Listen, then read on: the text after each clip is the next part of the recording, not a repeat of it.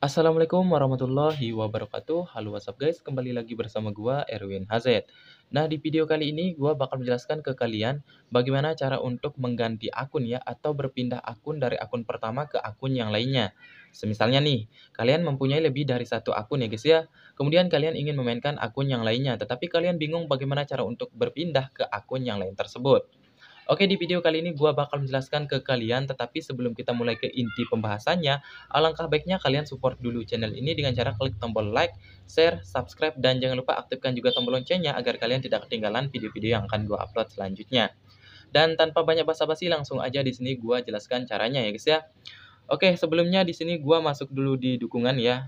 Kita masuk di data tautan. Di sini gua bakal uh, memperlihatkan ke kalian apakah nantinya gua benar-benar berpindah akun ke akun yang lainnya apa enggak nih.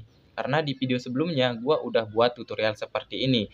Tetapi masih ada yang uh, mengira kalau gue itu hanya uh, berpindah dari aplikasi yang asli ke aplikasi yang lainnya. Karena di situ gua menggunakan yang namanya aplikasi uh, double ya atau aplikasi ganda gitu guys.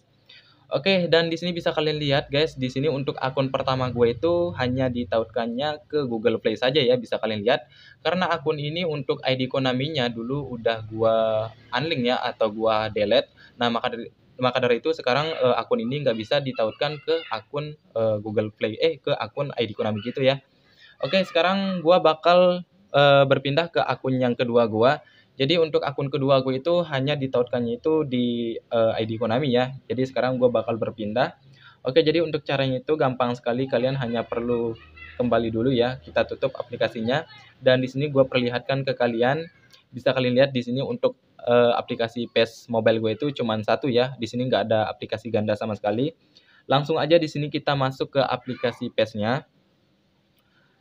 Oke, di sini uh, untuk videonya itu gua nggak cut ya guys ya, gua nggak edit sama sekali biar kalian lebih paham lagi, biar kalian nggak uh, bingung gua itu ngejelasinnya dari mana ke mana gitu ya. Jadi di sini gua nggak edit sama sekali untuk videonya, biar kalian bisa lebih percaya gitu ya. Nah, untuk caranya itu sangat gampang sekali di sini. Kalian tinggal masuk aja di garis tiga ini ya guys ya. Kalian tinggal klik, kemudian kalian tinggal uh, klik aja atau pilih transfer data ya. Oke, selanjutnya di sini uh, karena akun utama gua itu tadi menggunakan uh, ditautkannya itu di Google Play ya.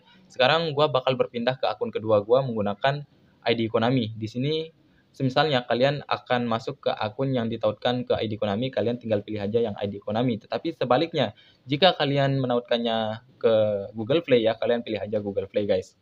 Oke, di sini karena gua bakal uh, menuju ke akun kedua gua ya yang ditautkan ke ID Konami, jadi di sini gua pilihnya itu ID Konami aja. Oke, selanjutnya di sini gua tinggal pilih Google Chrome ya. Nah, sebelumnya di sini gua sensor dulu guys biar lebih private aja ya untuk akun atau email gua. Oke, di sini kita pilih user wo ini. Kemudian di sini gua langsung aja masuk di akun uh, kedua gua ya.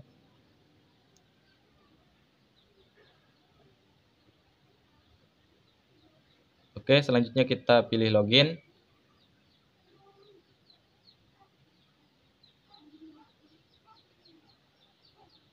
Oke, di sini salah ya guys ya, gue salah untuk uh, memasukkan akun gue. Karena yang tadi itu adalah akun yang sempat gue beli namun di hack back ya atau di hack kembali. Sekarang kita masuk dulu di akun kedua gue. Apa ya, lupa gue sandinya nih. Oh iya, langsung aja di sini ya. Kita masukkan. Dan ini gua nggak edit sama sekali ya guys ya. Cuman gua edit tambahkan untuk sensor aja. Biar lebih privasi aja gitu ya. Oke di sini gua masukkan aja untuk sandinya.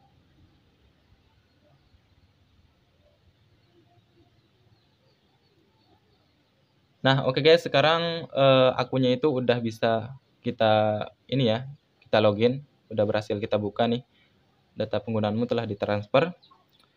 Selanjutnya kita klik OK dan di sini kalian kembali aja. Oke, jika udah seperti ini langsung aja kalian login ya. Sekarang kita lihat nih apakah benar gue itu berpindah akun dari akun pertama ke akun yang kedua. Oke, kita tunggu dulu. Sebenarnya tadi kalau gue perlihatkan ID gue ya di sini, ini adalah ID yang baru akun kedua gue. Jadi kalau akun pertama gue itu nggak nggak pakai ASBB ya. Dia cuman menggunakan nomor aja. Oke. Nah, langsung aja di sini kita pergi ke ini ya. Bentar dulu. Kita pergi ke ekstra, dukungan, kemudian data tautan ya. Oke. Nah, di sini bisa kalian lihat ya. Ketika tadi akun utama gua itu menggunakan Google Play, namun di sini bisa kalian lihat akun kedua ini menggunakan Konami ID. Jadi sudah jelas di sini ya guys ya. Gue itu berpindah dari akun pertama ke akun kedua gue.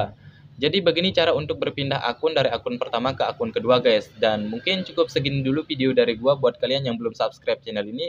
Silahkan di subscribe terlebih dahulu. Dan buat kalian yang belum mengerti atau ada pertanyaan silahkan komen aja di kolom komentar di bawah. Oke, okay, see you next time dan thanks for watching.